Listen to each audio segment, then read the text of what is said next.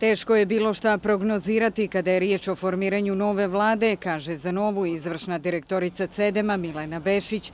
Potencijalni mandatar Milojko Spajić razgovarao je prethodnih dana sa predstavnicima političkih partija koji bi mogli participirati u vlasti. Bešić međutim nije optimista da bi pregovori mogli biti završeni brzo. Opšti je neki utisak da to baš e, ne djeluje kao neki organizovan, logičan i smislen e, redosled poteza.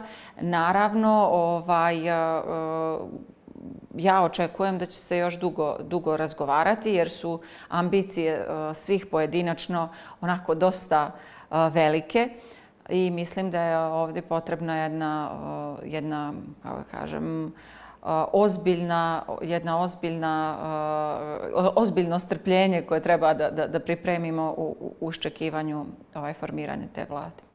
U javnosti se već spekuliše da bi buduća vlada mogla imati 22 ministarstva, odnosno četiri više nego sada. To prema riječima Bešić nije dobro, budući da je iskustvo sa vladom Zdravka Krivokapića pokazalo koliko prekrajanje i spajanje određenih resora može unazaditi pojedine procese. Mi smo to imali sa 42. vladom, pa se onda u 43. ponovo smo imali izmjene u odnosu na 42. Što znači da mi praktično svake dvije godine godine kompletno ovaj, mijenjamo taj neki raspored, što je naravno rezultat toga što zapravo nemamo zakon o vladi.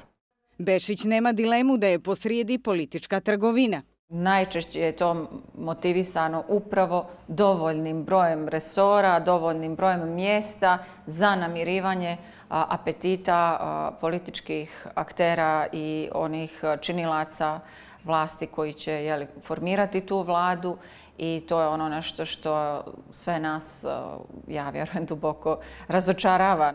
Upravo je jedan od principa PES-a profesionalizacija javne uprave i obećanje da neće biti partijskog zapošljavanja. No svjedoci smo, kaže Bešić, da se ta praksa nastavila nakon izbora 2020. uprkos obećanjima u izbornoj kampanji.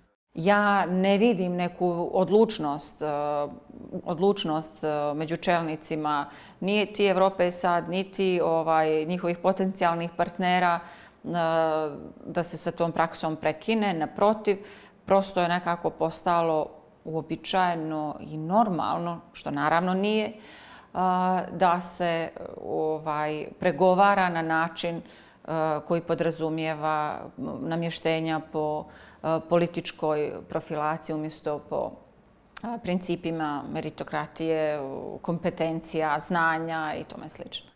Bešić je komentarisali i potencijalno učešće u vlasti i predstavnika nekadašnjeg demokratskog fronta. Čim su došli na razgovor, smatra Bešić, za to postoji mogućnost, a nije isključeno da bi mogli dobiti neke pozicije po dubini. Razgovori su tek počeli i e, ja mislim da to što su oni e, deklarativno za njih ti principi prihvatljivi, to nije nikakva novina. Vi se sjećate u predizbornoj kampanji da su govorili da bi bili spremni da ovaj, čak na neka pitanja koja ih eh, dijele i razdvajaju, eh, prosto stave veto. Tako da ovo nije prvi put da mi od njih čujemo da, da, da, bi, da bi bili spremni da, da, da se uklope na taj način. Nada se međutim da ćemo u budućem periodu imati vlast koja će istrajavati na principima i sprovoditi ono što su data obećanja.